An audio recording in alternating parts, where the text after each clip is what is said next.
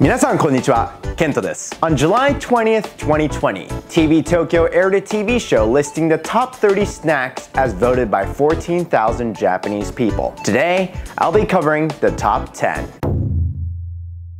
Number ten is a potato chip. Take a potato chip and eat it. From the company Calbee, the consomme panchi flavor, or consomme punch. Consomme, as you know, is broth and punch comes from the Japanese slang term panchi ga kiku, or literally, has an effective punch.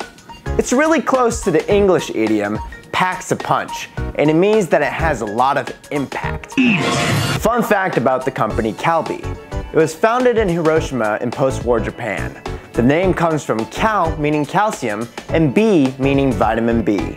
Both nutrients the Japanese people tended to lack in the post-war period. Anyway, number 10 is a basic potato chip Potato chip. much like Lay's from the US or Walker's in Britain. It's a thin, fried potato chip.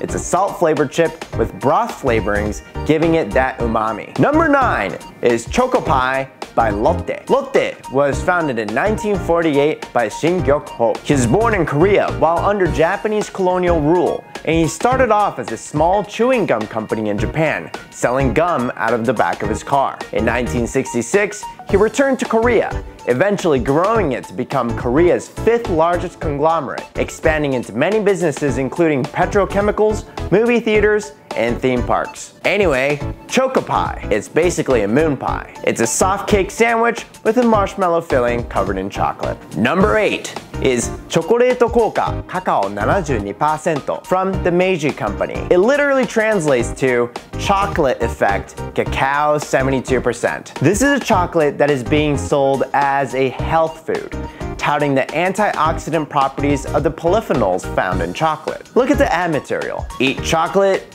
get healthy. The ad material even says to eat a few every day to get the best effect. 健康を考える人は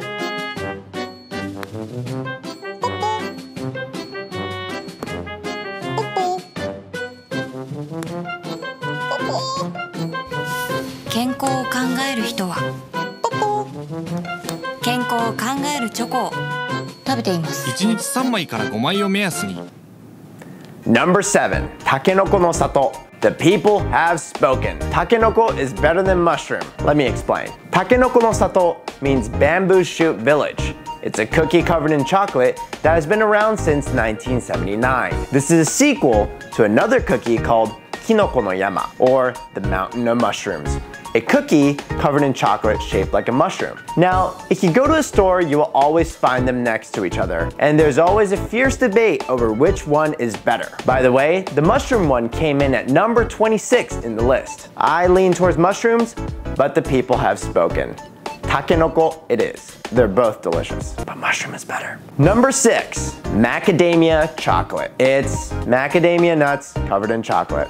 Simple as that. The macadamia nut is a nut with relatively high fat content. It's delicious on its own and it's known as the king of nuts. Cover it in really good chocolate and it's a winning combination. Number five, Kit Kat Minis. Since its introduction in Japan in 1974, Kit Kats have been a staple chocolate snack in Japan. And part of the reason why it's so popular is because Kit Kat sounds a lot like the Japanese phrase kitto katsu which means you will surely win. It became a very popular good luck charm of sorts surrounding college entrance exam season in Japan. Also, there are over 200 flavors of Kit Kats in Japan. Why? Nestle, the company that sells Kit Kats in Japan, attributes this to the prevalence of a omiyage culture in Japan. Omiyage is a gift a person brings to someone or brings back from some place when they travel. It's really common for Japanese people to bring gifts that has to do with the place that they're traveling from. It's kind of like if you were visiting New York City,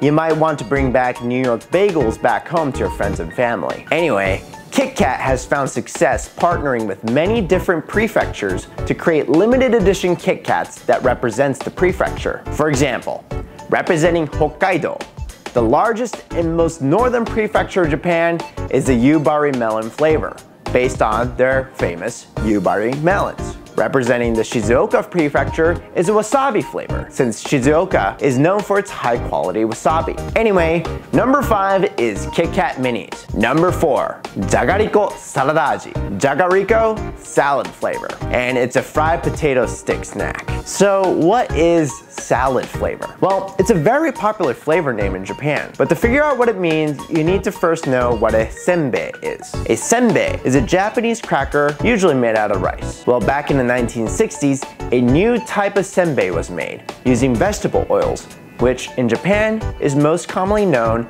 as salad oil. Back in the day though, salad oil was an expensive luxury item in Japan. So instead of just calling these senbei salt flavor senbei, they decided to call them salad flavor because they thought it would sound a little bit more fancy at the time. You can still find many salad flavor snacks, one of the most famous probably being Pretz, which by the way came in at number 30 in the list. Anyway, salad flavor is really just salt flavor. So we're talking about a salty fried potato snack. I mean, who doesn't love salty fried potatoes? Number three is Kaki no Tane by the Kameda Seika Company. This is probably my favorite snack out of this list. It's a salty and slightly spicy cracker, and the one sold by the Kameda Seika Company usually comes with peanuts. So they're called Kakipi or short for Kaki no Tane with peanuts. So what does kaki no tane mean? It literally translates to persimmon seeds, which is what it looks like. It's also a snack that has been officially admitted as space food. Number two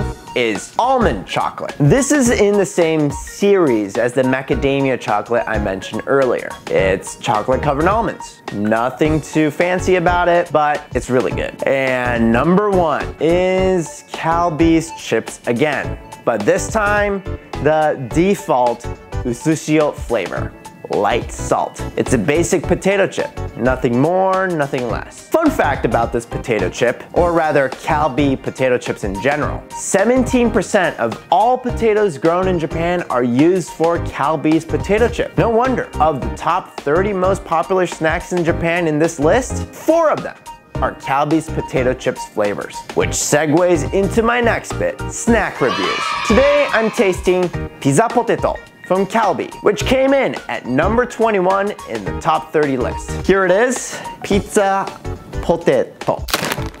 It's kind of got ridges, kind of like ruffles. Mmm. So I've had pizza flavored chips before. The one that I'm thinking of right now is Pringles. Compared to Pringles though, you can really taste the ingredients and instead of kind of like a almost artificially consistent flavor Pringles has, this chip really does taste like real potatoes that were fried with pizza ingredients on it. You can also see real spices on the surface of the chip. Now look at this chip. You really see the cheese melted onto the surface. And apparently that's the whole point of these. Like when they came out first in Japan, it was very much advertised the fact that immediately after they fry these, they sprayed real cheese on them. So they will actually melt onto the chip. That was one of the things that they touted when they came out with this chip and yeah, you could really taste it. I really recommend it. I believe Calbee actually has a distributor in the US now, so these should be relatively easy to find. I found an Amazon link. I will put them in the description below. Yeah, I give these five New York pizza slices out of five New York pizza slices. They're really good. Oh.